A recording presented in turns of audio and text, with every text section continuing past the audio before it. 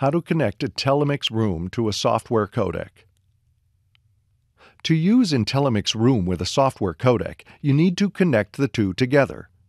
Within the software codec touch panel, navigate to the settings and find the settings for audio.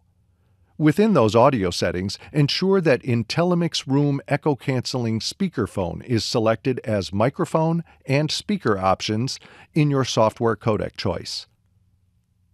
In a second example, you'll need to go to the Settings page, open up the Settings page of your software codec, in this example we're using Zoom, and navigate to the audio settings.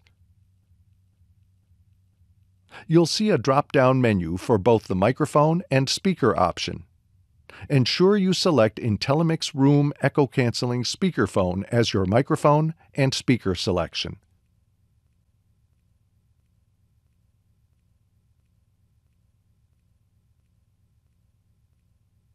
When you're in IntelliMix Room working in Designer, the virtual audio output is your near-end microphone signal that will be sent to the software codec's microphone input.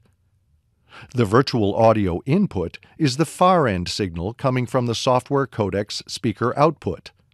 This is the signal that you will use for reinforcement in the room and for your echo cancellation reference.